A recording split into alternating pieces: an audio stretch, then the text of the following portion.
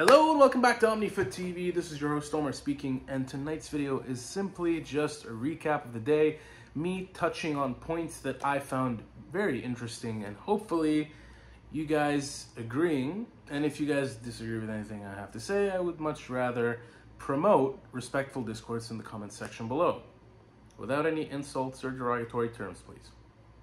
Should be a friendly space. Anyways, I digress. Albania versus Croatia. That was an incredible game. That was quite fun to watch. It was more so incredible because you couldn't really tell what was going to happen or how it was going to end. There was just so much chaos happening, and uh, the Croatian national team is really, really struggling. I did predict that they would finish fourth. I don't think they will. They may end up pulling a rabbit out of the hat in, the, in their last group game, but the Albanians, man. The Albanian national team, this team is nothing like the one that showed up at Euro 2016. They're just much better, much more confident on the ball, despite the fact that there's this gap in quality between them and every other team in the group. This gaping chasm, this black hole of quality, with all due respect to them, but there's just so much character. There's a good amount of character and a thick layer of gumption these guys want the ball and they want to find solutions and they want to just keep trying. And you could tell that they weren't afraid in either of their games so far. And Gjasula in particular scoring an own goal, a freak own goal that genuinely just there are five own goals in this tournament so far. That's just insane to me. The fact that we have five own goals already. I don't know where this is gonna go. I mean, as far as I checked from the last time I checked the charts, actually, I think um, Musiala was the only player to have scored twice so far in the tournament, and you know it's it just it's it's weirding me out the amount of own goals we're getting, and I really hope it doesn't persist. I mean, Austria lost to France thanks to an own goal. We got an own goal, I think, in, in, in the Swiss Scotland game as well, but then it was awarded to McTominay. And you have another own goal in the Albania Croatia game. I mean, what's happening, man? This just ruins the game. Anyways, I digress. I just felt extremely happy for Gjasula for turning that around and scoring an equalizer in the 96th minute. Of all the scenarios that could have possibly popped up in anyone's head, having a player just completely wreck his national team's chances of possibly getting a point and then redeeming it in an international tournament, in a continental tournament of this stature, it's cinema, really. I can't even imagine what what must have been going on in his head. The guy must have been on adrenaline as soon as that ball went in. It was a good finish, by the way. It's just so refreshing. More of these teams should be doing better than they are. And speaking of teams that should be doing better than they already are, Hungary versus Germany. The Hungarian national team have honestly left me stunned, disappointed, and just sad, quite frankly. They came into this tournament having lost no games in 18 months. 18 months! They did really well in the Nations League. They beat England at home and away. They thrashed them at Wembley. They put four past the English goalkeeper. At Wembley which I think was their worst defeat in 72 years. It was just, and I know it's England, it's Gareth Southgate. You you can use that as an excuse. Southgate's a horrible manager, but still, there's so much difference in regards to how these teams set up and the quality from individual to individual. That when you look at their starting 11s, you start to think, okay, this looks very good for the English. And you look at you look at Germany as well earlier today, and you think, okay, this is very good for the Germans, but the Hungarians should be able to do something. They had good chances, but they just couldn't put anything away. And I really feel for them, man. I really do. I thought that they could. I thought that they had the potential to be dark horses in this tournament. They they just did, and that wasn't the case. Their 2020 campaign was amazing, despite the fact that they just didn't have what it take to get out of that group, they still managed to perform well enough to etch something deep into the confines of our minds. I still remember their game against France, their game against Germany, despite the fact that they lost their game against Portugal by three goals to nil.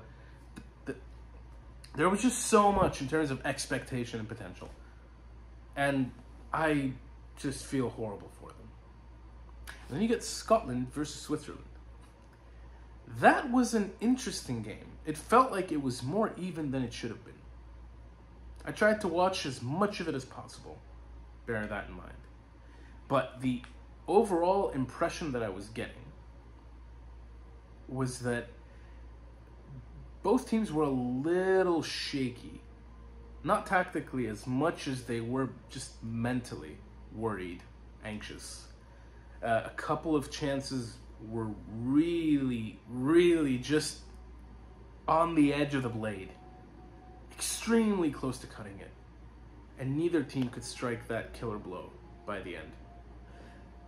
However, you have a player like Xherdan Shaqiri, who is European football quality, champagne football incarnate.